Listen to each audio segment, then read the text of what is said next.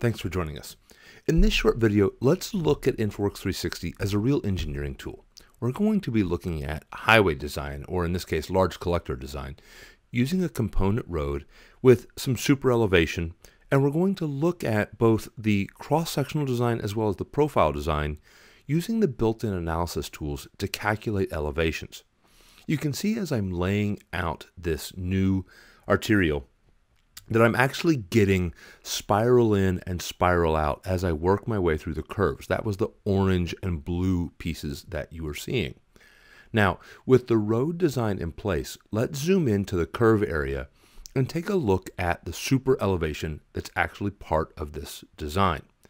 Selecting on the road, right click and turn on the Show Super Elevation, and this shows you all of the critical points in that geometry design selecting one of those slices, you'll then see a section view displayed for the road. Sliding my slice up and down either manually or using the arrows on the profile or the section view, you can see the road design update as it rolls through super elevation and back out again. You can also see the terrain reflected as the grading at the edge of the road is reflected in that cross section. If I want to get a better feel, I can also begin to look at the volume of this road design. We can use the section editor as well as the profile view to fully understand how this road design is being impacted by changes I make to the geometry, whether horizontal or vertical.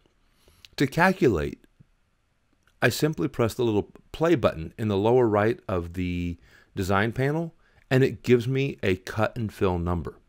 Now, as I make changes to my profile, I can see those changes reflected and I can also see them in the cross-section view as I go.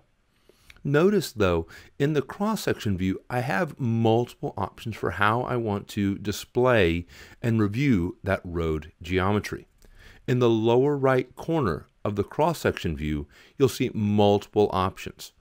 So once I make an edit to my profile by adjusting one of the PVIs, I move my mouse back into the canvas to update my road design, and then I can make changes again using that slice slider and look at different views of the cross section. The lower buttons there reflect a paving view and then a earthwork analysis view showing simply a top section and then a tie-in with cut and fill areas. Thanks for watching this video. To learn more, join the InfraWorks 360 community by visiting the website on your screen. There you'll see forums, the idea station for sharing your ideas, and infra tips where you can learn more ways to make InfraWorks 360 a more powerful part of your infrastructure workflow. Thanks again.